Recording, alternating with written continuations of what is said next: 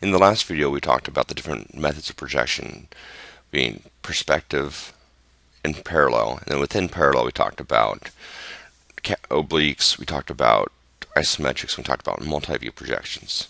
So now we're going to focus on multi-views.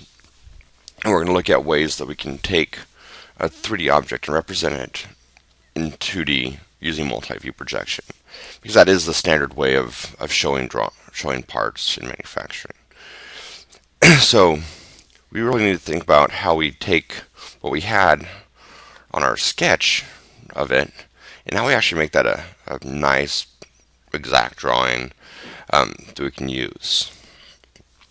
So the first thing we need to do is we need to pick our front view.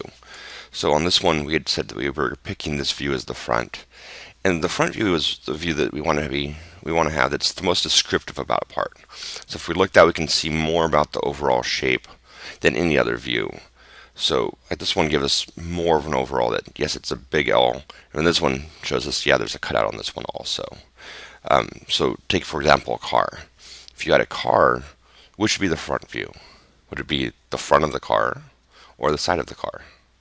Which gives you more of a view about an idea of what the car is.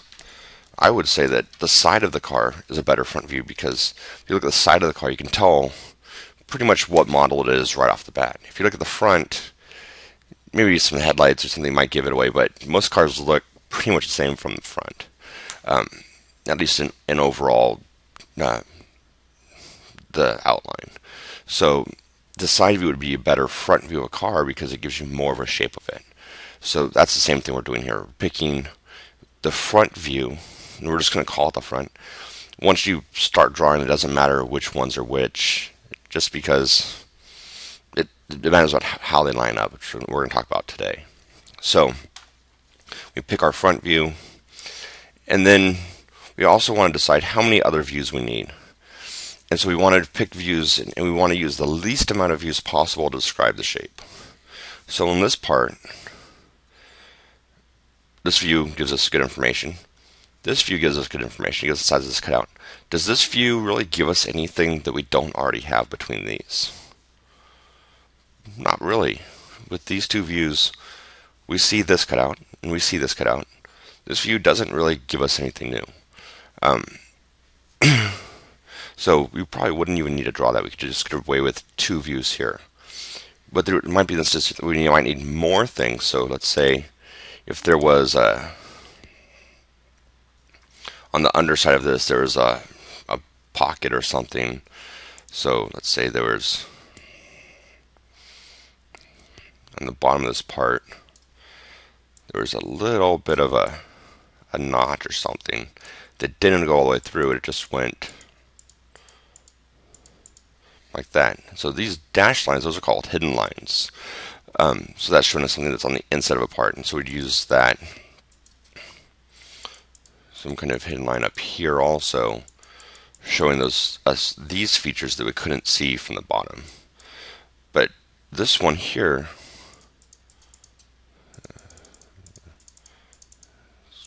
see just by not having control enough over where things were and projecting it, I'm getting kind of a, a mixed feeling of what's what, and I'm losing. Things aren't lined up, and but I get the idea. So in this case, I might need a bottom view to see this extra feature. And so you can have more than three views also. So we can have the front, the right, the top, the bottom. We could have a left, and we could also have a back view, either beside the right view, beside the left view, above the top view, or below the bottom view. Just kind of we're always flipping and rotating. So we had the front, then we had the right, then we could go right to the, the back view. If we put it here, looking this way at the right view. so we can just keep going and, and making any other successive views that we need. So when we're drawing views, we've got a few steps. So these are just my general guidelines for how I like to draw views, and I've figured that that work pretty good.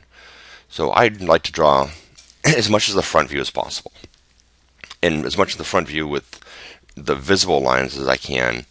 Um, so if we go here, we have this little one. So front view, I could probably draw that whole thing because I can measure all this thing, all these lines out and draw that. So I'm going to go ahead and do that. So that's one, two, three, four, six, seven, eight.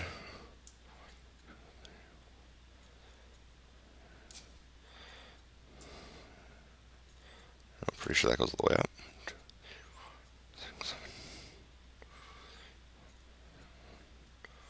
Two, three, four, five, six.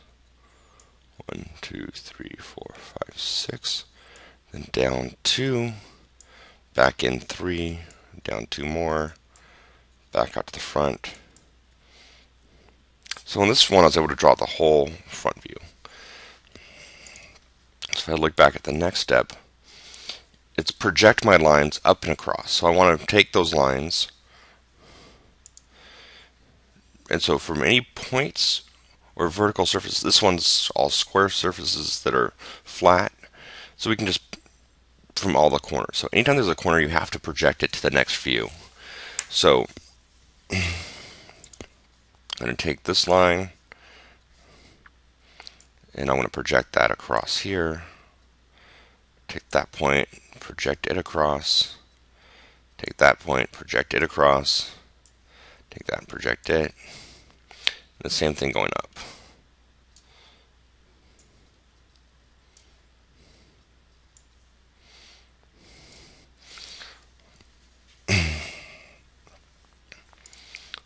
So the next step is creating my miter line, which I already have done here. That's what this is. This is called the miter line.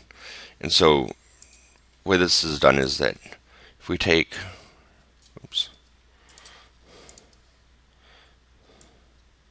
if we take our front line there, and our front line there,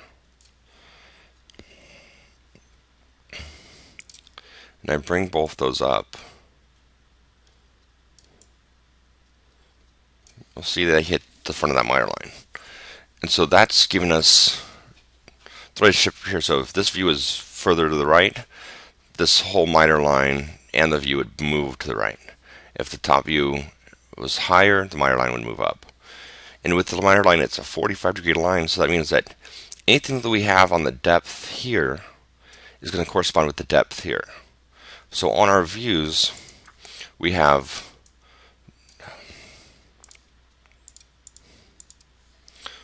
we have the width going side to side. We have the height going up and down. And we have the depth going front to back. Like that. So we have height, width, and depth. So the depth has to be the same in both the side view and the top view because the depth here, it's the same. So, get rid of all that. So our line lets us translate distances from one to the other. So if I drew this, this back line,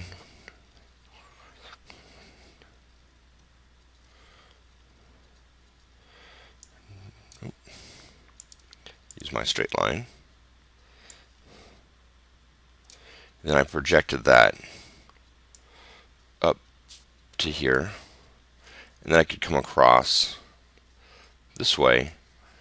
And then it's the same distance.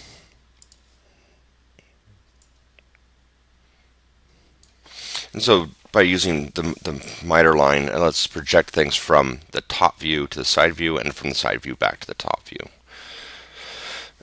so we can the next step on our thing was after creating my line was to, to draw as much of the top or side views as we can and then we'll project lines back to the front view or to the other views as needed um, to complete the drawing. So on this drawing it's a pretty straightforward drawing. So we'll go ahead. We know there's a bottom there. Know we have an edge here. We have an edge there. And we had a top line there. So from the right side, so if we are looking from here going this way, we can see a line there. We can see a line from this corner. We can see a line from this corner. And because when we're looking straight at it, this corner and this corner would line up. Same thing here, this corner and this corner would line up, and all we would see would be one line representing that entire surface. And these surfaces that are flat like this, they're called normal surfaces because they're perpendicular to the next view. So same thing on the top. We know we have a line there. We have a line there. And we have a line there. So is that it? Are we done? I hope you said no because we have a corner here that I didn't project yet. I'm going to project this one in, in green so we can kind of see it a little better once I draw my line over it. So I'm going to project that up. And this line, if we're looking at our view here and we're looking down from the top, can we see that edge? And the answer is no. It's because we're looking down the top we see the solid surface here, then that edge is cut underneath it. And so we can see that same thing here from because if we go from the top view, we're going to go down, we're going to hit this other line before we hit there. And it's important that this line and this line are both on the same face here. If they weren't on the same face, it would it'd be a little trickier, but it, since they're on the same face, we know that this point is being hidden by this line. So we're going to represent this with a hidden line, and that's our dashed line.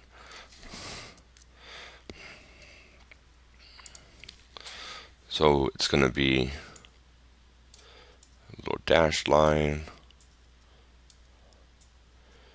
And if we were doing this in CAD, we'd just pick a hidden line for it, and would would be done. Oops. So that would be what our view looks like. So we've got this here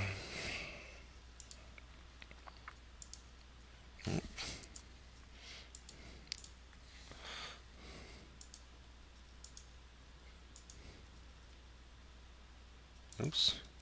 Guess I forgot those front lines.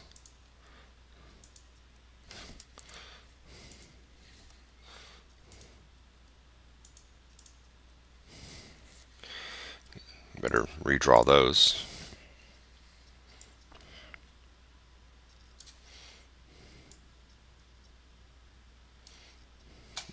erase that line too. Ah. You get the idea. So that's that's our drawing on this one. So on this one, we'll do the same thing. We'll just kind of move through a little quicker. So first step, draw the front view. This view gives us overall shape, so that'll be our front.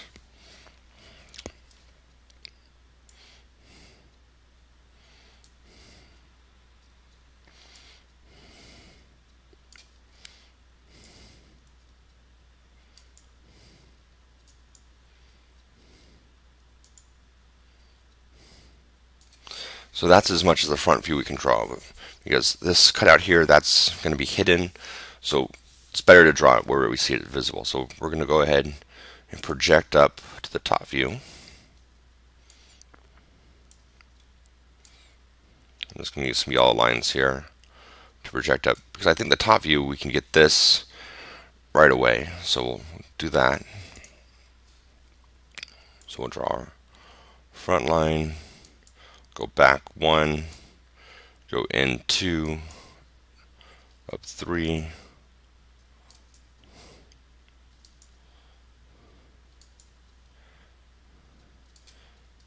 and we'll draw this one across. And you could say, yeah, well, I can see it's two, and I'll just draw this line here at two. But it, we're trying to get into good habits here, and, and the good habit is always to draw it where you see it visible, and then project it down to the next view. So we're trying to get that, that good habit going. It'll make more complex drawings easier. So now I can take this and project it back down and draw my hidden line. So now I'm going to come over to my side view, project, always project, if you just decide you're going to measure it and, and that you don't, you don't need to project it, that's when you run into trouble. If you project it, you usually don't have any problems unless you forget to project something. If you don't project something, you just measure it, that's usually when you run into problems and things don't line up um, correctly or you get things the wrong size or you flip your view by accident. So we always want to project. So I'm just drawing this around here because I know that that outline like that. And then, ooh, now we've got some lines crossing each other. So what goes where? So if you said that this line goes all the way across here, you're right, because this part here, this part, and this part would all line up to make this surface. So we know that that's going to go all the way across. and then we have this line to worry about. And so for most cases, you'll you won't have two saw lines crossing at a point. So we'd almost never have something like this. so where do those lines go? Do they go on the top or the bottom? Well, if we look over here, we can see that the bottom half is where that line is.